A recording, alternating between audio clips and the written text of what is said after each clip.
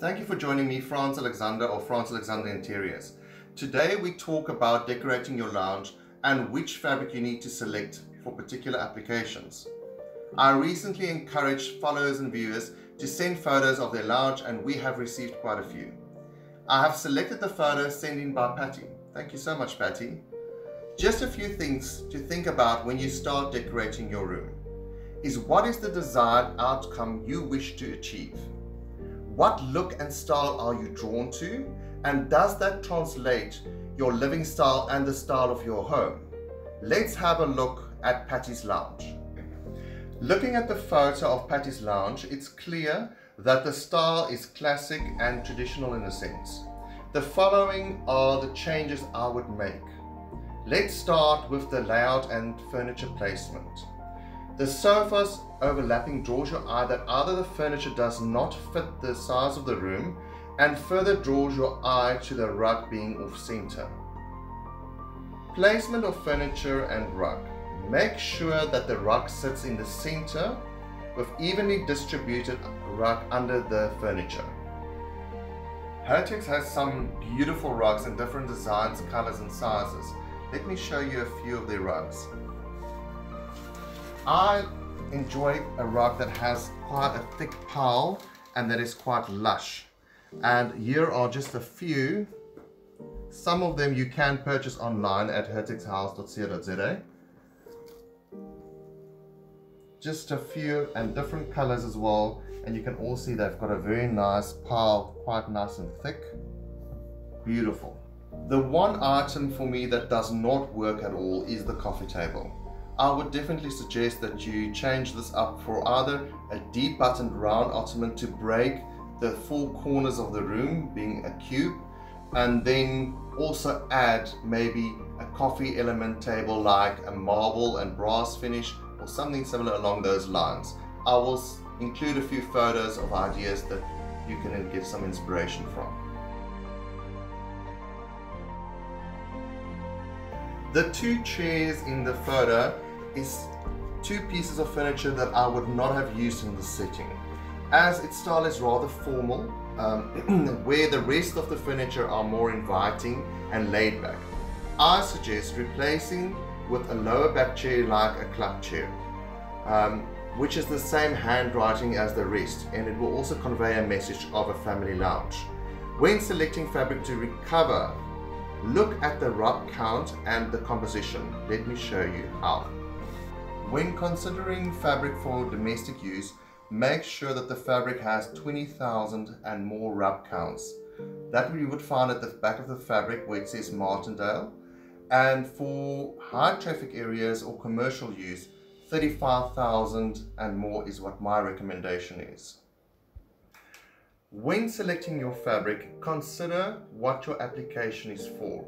So if you, for instance, have kids and dogs, make sure that you select a fabric that is going to be kid-friendly, dog-friendly to some extent. It's most important to make sure that you can actually clean the fabric easily. So if you look at this fabric, for instance, from Hertex, at the back you will find quite a lot of information. The P there says professional clean so you can professional clean it. And next to it it says 30 degrees which means you can clean it at 30 degrees Celsius. Then below it it will say exceeds 20,000 rubs. When you do start looking at fabrics for your sofa choose a fabric that has the right composition. A linen fabric is going to stretch slightly and if you that's the look that you like a little bit more creased etc then that would be the fabric that you would go for. Cotton is also a very nice fabric. It's a natural fabric. It's easy to breathe as well.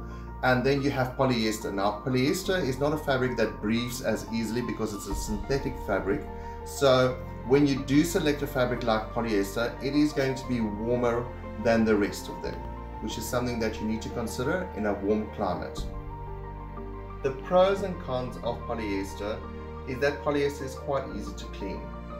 If you select fabrics that has a high viscose or silk in the composition, be sure that it's in a room that does not get too much sunlight as these fabrics will fade quite easily.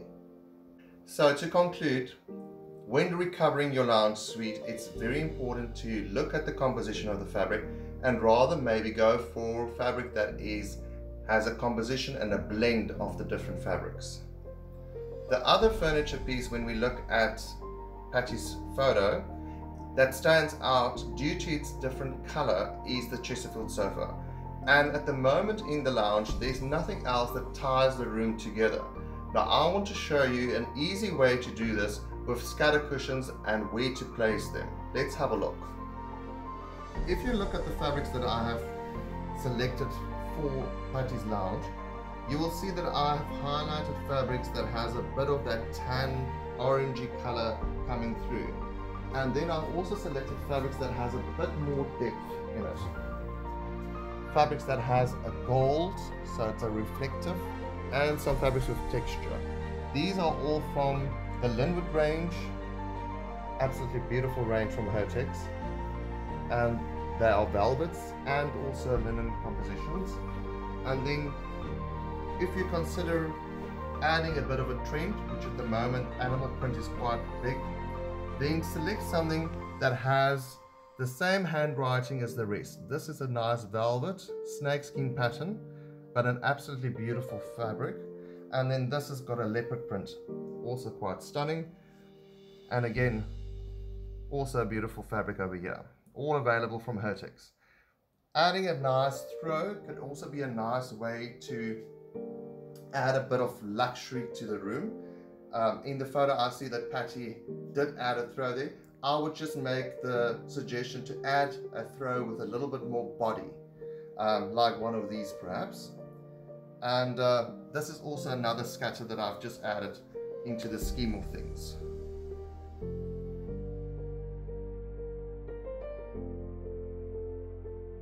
Let's talk about window dressing and wall coverings.